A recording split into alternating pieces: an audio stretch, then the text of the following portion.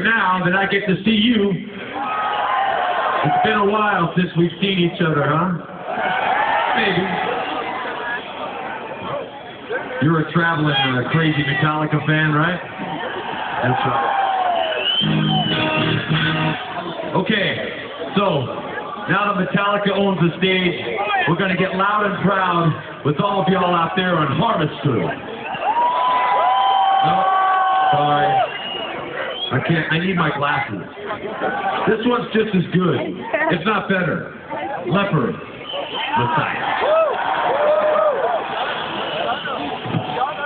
Messiah.